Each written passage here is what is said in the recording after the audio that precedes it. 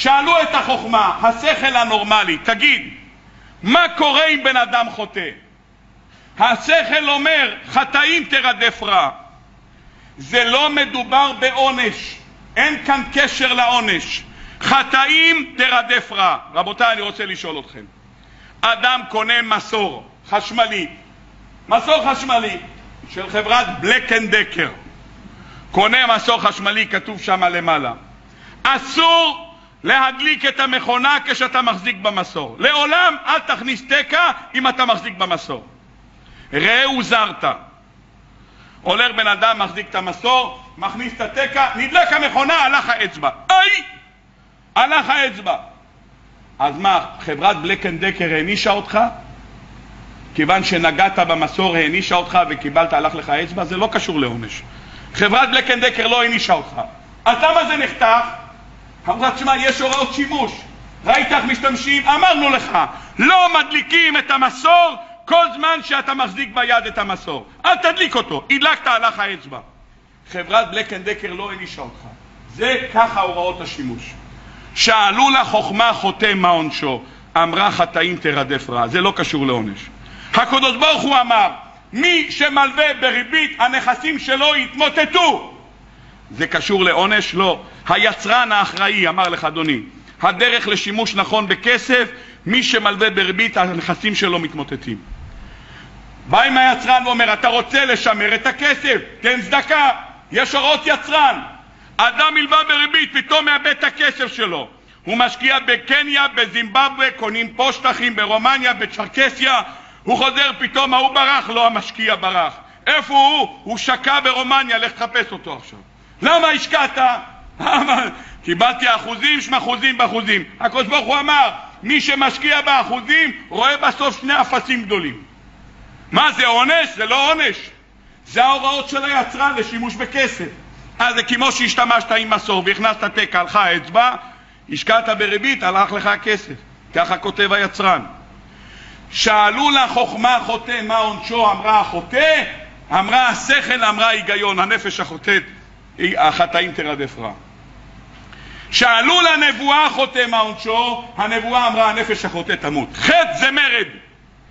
שאלו לתורה מה עונשו, אמרה התורה יביא אשם. מתי? כשבית המקדש קיים וזה בשגגה. אם זה במזיד ואין בית המקדש, אין לו תקנה. שאלו לבורא יתברך, הוא אמר יעשה תשובה. בא המהר"ל בנתיב התשובה ומביא על זה יסוד נפלא. מביא המהר"ל משל למה הדבר דומה. משל למלך, היה לו, למלך הזה, היה לו סרוויז, היה לו סט של כוסות מאוד יפה, זה היה לו מהאימא שלו, המלכה הקודמת, היה לו, כל הסט כבר נשבר, נשאר מהסט כוס אחד, כוס אחד נשאר מהסט הזה, זה כבר 300 שנה במשפחה, עובר מדור לדור. המלך קיבל הוראה מאימא שלו את הכוס הזה כדי לשמור עליה, צריכים לשטוף אותה כל יום עם אמה ולייבש אותה לאט לאט עם ספוג מאוד עדין, אחרת הכוס הזאת תאבד את היופי שלה, את הברק ואת הציורים שיש שם. המלך נוסע לחופש חודש, אומר לאחד החברים שלו, תעשה טובה, הכוס הזאת בבת עיני, זו המזכרת היחידה שיש לי מאמא שלי. שמור לי על הכוס הזאת כל יום לשטוף אותה באמה, לנגב אותה יפה עם צמר גפן ולהחזיר אותה כמו אתרוג, לעטוף אותו יפה, לשים אותו בארון, כל יום תעשה אותו דבר. יופי. יום אחד מגיעים אליו הרבה חברים, הוא לא, וואה, שמענו יש לך קשרים עם המלך, אתה מסודר? אומר, שאני חברים עם המלך. יש למלך כוס, קיבל מאמא שלו עליה השלום, היחיד שהוא נתן, נסע לחופש, לא השאיר את זה לא לשר החוץ, לא למלא מקום שלו, לא ליושב ראש, שום דבר. לי, אמר לי, בוא דוד, קח אתה, נתן לי את הכוס, תסתכלו איזה יופי של כוס, מסובב את זה סוף סוף סוף, טק! נפל נשבר.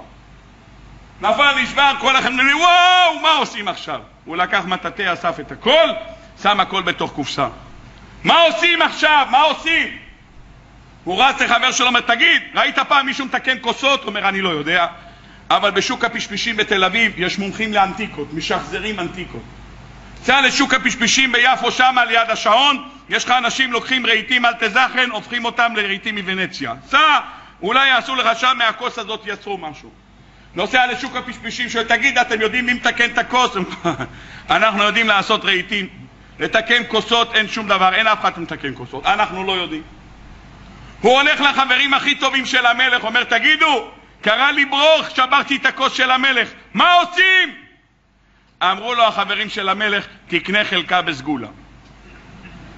אתה גמרת את החיים שלך. ההוא חוזר, אין לו כוס, אתה מקבל מצבה. אין לך מה לעשות.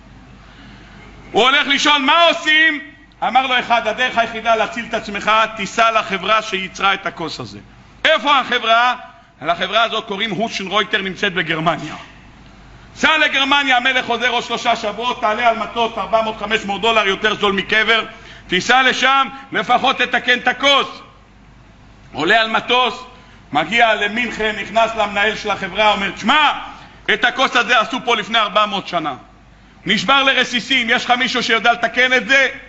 הוא קורא לאדריכל שלו שמעצב את הכוסות, אומר, תשמע, אנחנו יכולים לתקן את זה, אומר, תראה, יכולים לתקן את זה, אבל זה לא יהיה כמו שהיה פעם. אי אפשר חתיכות קטנות, הגדולות אנחנו עוד יכולים לחבר, קטנות לא יכול, יהיה סיליקון, יהיה אפוקסי, יהיה זה, אסור לשתות בזה יותר חם, למה יהיה חם יעמיס את האפוקסי, יצא פה, זה יראה מסננת.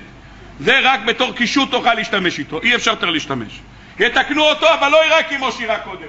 אי אפשר, זה בחיים לא ייראה אותו דבר. תודה רבה לכם, סוגר את הארגז, חוזר בחזרה למדינה, ומנחכה שהמלך יחזור. המלך חוזר, הוא מבקש פגישה עם המלך, נכנס, איך שהוא נכנס, נופל על הרצפה, מתחיל לבכות עם הקופסה ביחד. שואל את המלך, מה קרה? מה קרה, דוד? אתה לא מרגיש טוב? מה קרה? הוא אומר, אני לא מרגיש טוב, אל תשאל מה שעשיתי. מה קרה? הוא אומר. הוצאתי את הכוס לשטיפה, ובלי כוונה תח נפל, הכל נשבר לסיסים, אני שבור ורצוץ.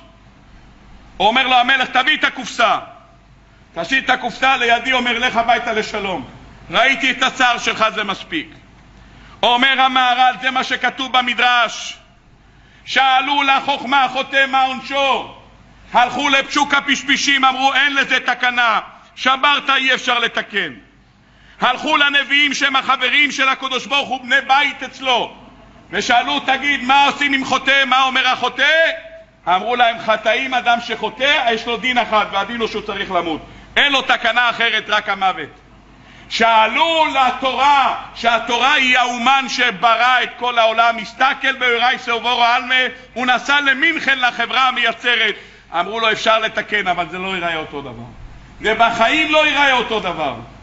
אומר המהר"ל הקדוש ברוך הוא נתן לנו נשמה. הנשמה הזאת אמר תשמרו על הנשמה היא בבת עיני. זה חלק אלוקה ממעל זה החלק שלי תשמרו לא לטמא אותה בא בן אדם פגע בנשמה הוא שואל עכשיו איך מתקנים שואלים מומחים לנשמות אומרים אין תקנה הולכים לנביא אומר אתה תמות הוא בא לקדוש ברוך הוא בכבודו ועצמו בלב נשבר ונתקה ואומר אבא נתת לי נשמה, אבל מה אני אעשה? קלקלתי אותה. אומר הקדוש ברוך הוא, לב נשבר ונתקה אלוהיקים לא יסיב זה. שברת, אבל יש לך אפשרות לתקן. לב שבור, זה מה שאני רוצה. פתרון התשובה הוא פתרון יצירה של הקדוש ברוך הוא. שבן אדם בא שבור, מבקש מהקדוש ברוך הוא רחמים. כאן הוא מקבל את נס הישועה שלו. אם ככה, כדי להבין מה זה התשובה, ירדנו לעומקם של דברים, הבנו שהדבר התשובה נקראת מתנה של הקדוש ברוך הוא. הקדוש ברוך הוא אומר לנו, תדע לך, התשובה זה לא דבר קשה. כי המצווה הזאת אשר אנוכי מצווך היום, לא נפלאתי ולא רחוקה, בפיך ובלבך, תגיד חרטה וידוי קבלה לעתיד, הכל מסתדר. רבותיי,